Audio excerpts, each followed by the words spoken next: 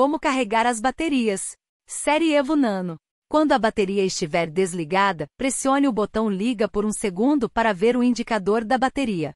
Se a bateria não estiver cheia, você pode carregá-la antes do voo. Você pode carregar a bateria de duas maneiras. Primeiro, você pode carregá-lo através da aeronave. Insira a bateria no compartimento da aeronave e verifique se ela está totalmente inserida. Conecte o cabo de carregamento USB-C à porta na parte traseira da aeronave e conecte a outra extremidade à fonte de alimentação. Em segundo lugar, você pode usar o carregador múltiplo para carregar uma ou mais baterias de uma só vez. Primeiro monte a bateria ou baterias no multicarregador. Em seguida, conecte o cabo USB-C à porta no lado do carregador. Conecte a outra extremidade a uma fonte de alimentação. Quando a bateria estiver carregando, o indicador piscará. Quando a bateria estiver totalmente carregada, a luz indicadora apagará. Obrigado por assistir.